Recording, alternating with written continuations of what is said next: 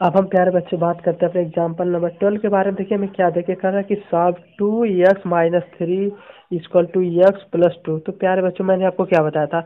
बस आप लोग एक बात ध्यान रखें तो आप लोग linear equation in one variable के सारे क्वेश्चन कर लेंगे। क्या वो बात है कि भैया, आप लोगों को प्यारे बच्चों वेरिएबल को एक तरफ़ करना है और कांस्टेंट टर्म को एक तरफ़। क्या करना है प्यारे बच्चों? वेरिएबल को एक तरफ़ और कांस्टेंट को एक तरफ़ अगर आप लोग कर लेंगे तो आप लोग सारे क्वेश्चन आराम से सॉल्व कर लेंगे, ठीक है? और एक बात और ध्यान रखना, दूसरी बात की, आप लोग जैसा जानते हैं प्लस हमारा इक्वल टू के उधर जाता है तो माइनस हो जाता है। आपका मल्टीप्लाई उधर जाता है तो प्यार से डिवाइड हो जाता है। उसी तरीके से इसका उल्टा होता है माइनस इक्वल टू किधर आएगा तो प्लस हो जाएगा। डिवाइड इधर आएगा तो मल्टीप्लाई में ठीक है? यही बात है आप लोग ध्यान में है पूरी? तो आप लोग देखिए, इसको भी कर लेंगे। तो हमारा कंसेप्ट क्या है कि भैया, हम लोग वेरिएबल एक तरफ़ कॉन्स्टेंट एक तरफ़ वेरिएबल है आप क्या? आपका टू एक वेरिएबल है और एक एक्स वेरिएबल है।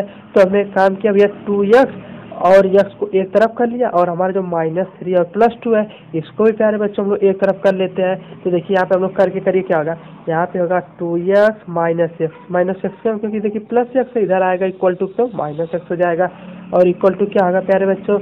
यहाँ पे हमारा टू तो है ही और यहाँ पर हमारा प्लस थ्री सॉरी हाँ माइनस है। इधर आए तो प्लस थ्री जाए तो यहाँ से सॉल्व करेंगे। एक्स इक्वल टू आपका फाइव आएगा इस तरह आप लोग बहुत आसानी से सॉल्व कर सकते हैं कि नहीं? बिल्कुल कर सकते हैं। अब हम लोग आगे बढ़ते हैं अपना क्वेश्चन नंबर थर्टीन के बारे में। तो थर्टीन एक बार अपने सॉल्व करिए। कर ले, ये भी आसान है पहला काम वेरिएबल एक तरफ़ कांस्टेंट एक तरफ़ वेरिएबल क्या है? फाइव एक्स माइनस हो जाए कि नहीं? Minus three x by two क्या होगा प्यारे तो three x by two is equal to आपका होगा माइनस फोर्टी और देखिए, यहाँ पर प्लस सेवन बाई टू इधर आएगा तो माइनस सेवन बाई टू यहाँ से आप लोग करेंगे कैलकुलेशन तो यहाँ से प्यारे बच्चों, जब इसको हम लोग सॉल्व करें तो कितना आएगा?